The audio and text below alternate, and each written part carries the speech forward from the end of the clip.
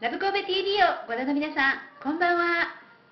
ラブ神戸 TV 熟女レポーター、A 子です。はい、本日は東門にございます、佐古臼井さんにお邪魔しております。こちらはどんな店なんでしょうか？行ってみたいと思います。はい、では、行ってみます。こんにちは。今日はよろしくお願いいたします。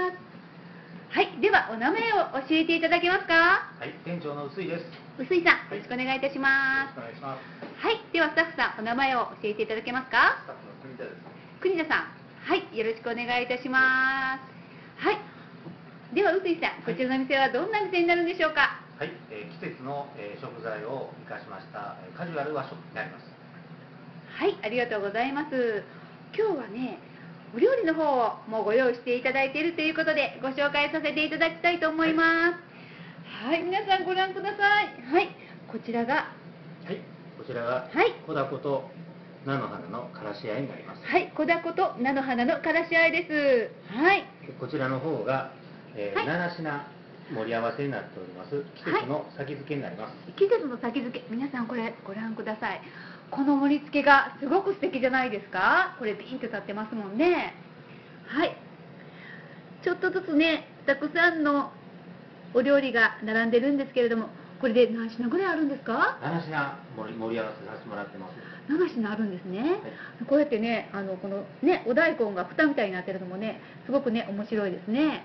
はい、ありがとうございます。はい、なんか女子会プランとかもあるっていうことで、はい。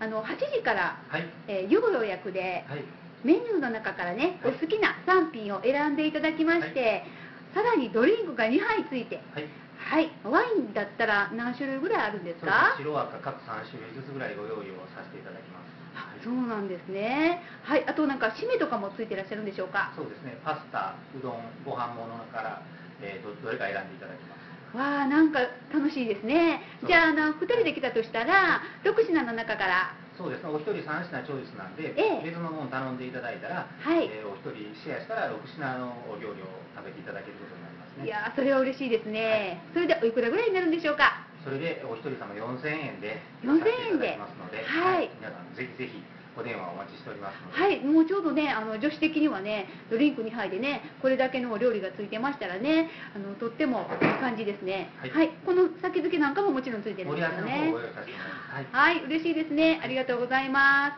す。はい、ではこちらの臼井さんのお店の、あのー場所をちょっと教えていただいてよろしいですか？はい、東門筋の、えー中頃からもうちょっと北に上がっていただきまして、はい生田神社の東の鳥居さんがあるんですけども、はいそちらの向かいのビルの地下になります。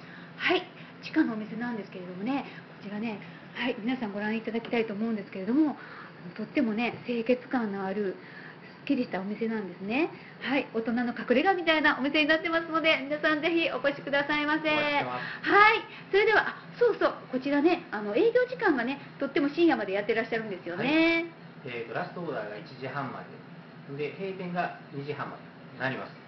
はい、ね、ゆっくりとね、あのお食事やね、お酒も飲んでいただけますので、ぜひ皆さんお越しくださいませ。お待ちしてます。はい、今日はどうもありがとうございました。はい、失礼いたします。